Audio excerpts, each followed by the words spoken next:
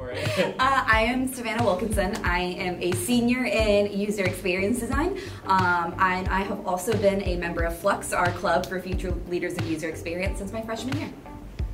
That's so cool. when, when I came to SCAD, I wanted to grow up and be Savannah. Stop. uh, my name is Quint, and I am also a UX design major, and uh, I'm also an officer of the club. I handle workshops, so uh, teaching kids software and stuff like that. It's a lot of fun. So UX stands for user experience, and so it is a specific discipline within design that is all focused on digital and physical touchpoints and how users respond to them. So a lot of times you will see UX in the context of websites or apps or any kind of digital component where a user is using it and therefore having an experience with it. And our job as user experience designers is to make sure that that experience and that interaction is as seamless and intuitive and easy as possible for those consumers. It's a really cool intersection of design and technology, and I think that's what I love most about it is that you're really designing these products that people use. I feel sometimes like uh, in other disciplines I've been a part of, graphic design for example, there's still ways to make that useful, like posters or you know, events or stuff like that. But I find that when I make tools that someone can use, when I make a product that someone uses to accomplish a task, that's where I get the most gratification because they're, they're, doing something with it, you know, like it's useful and I feel useful when people do that. So um, that's kind of the, the thing that separates it from other visual designs is that this is something that's intended to be used for a purpose and complete a task. I will say something that also separates it too is user experience design is all about the user. Mm. And so we are grounded not only in user research, but consistent user testing and user evaluations. And other disciplines, I guess we're just picking on graphic design. you can't just say like, oh, this is pretty, therefore it works, or oh, yeah. it works because of the rules of Gestalt. And that's great for designers who know that, but you know, designers are not just gonna be the only people looking at these posters and that kind of thing. And especially with what we do as user experience designers, no designers are really gonna be using what we use because they're probably designing their own things. Yeah, um, so we have to base every decision that we make in user research with then becomes insights. And then even when we are making our interfaces and our products, we consistently test them with users. Over. So we are over and over. It's a whole iterative process testing with users. And so it always comes back to what is best for the user and what the user uses most effectively. Even if we think something is really cool, if it doesn't test well, it does not go forward. And that doesn't necessarily mean always give the user what they ask for. A lot of times the user will ask for one thing, but we'll dig a little bit deeper and we'll see, you know what, they're asking for this because of this issue over here. This is something we could fix and kind of like nip that at the bud. And so um, that's that's a really important part is like researching and really honing down on what that problem is and what problem we're trying to solve, and then trying to figure out all the different ways you could solve it, which is the more fun part, I think. UX is first and foremost a process. We mm-hmm. are taught a process here.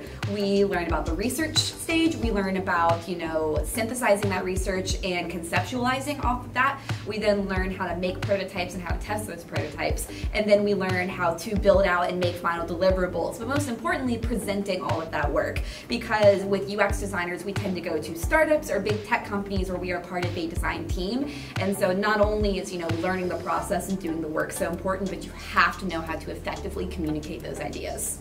It's tough to give a definition for UX because it's so nebulous right now because it is a very new field and a lot of people like um, they enjoy having the title of UX without necessarily exhibiting qualities of someone who works on UX.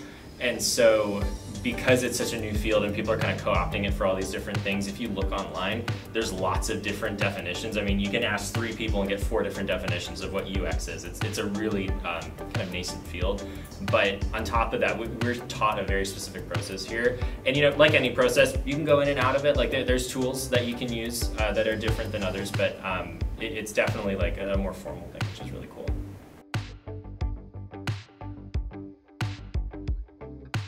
We get people from all over. Uh, I have a graphic design background. I actually got a, um, I, I went to school originally for a, an AFA in graphic design, and I just know I like making pretty things. I love making things pretty, and and for me specifically, it's that intersection of digital technology and uh, aesthetics that really drive me to be who I am and, and drive my work and what I do. So I came from graphic design. We get people from industrial design. We get people photography. We get people design. from art history come in. It's, like it's crazy how many different kinds of people we get because one of the best best things is that when you have these groups, you talk about how collaborative it is. When we have these groups of people, the more varied we can be, the better it is. It's like um, I've heard it put, uh, inclusion inspires innovation. Yes. And I just love diversity like, inspires innovation. Exactly. It's just it's such a good way to do things. So um, that's another really cool thing about this major is that we get people from all over, especially because I don't think a lot of people come here. That might be changing, but they don't come here for UX design, and then they hear about it, and then they're like,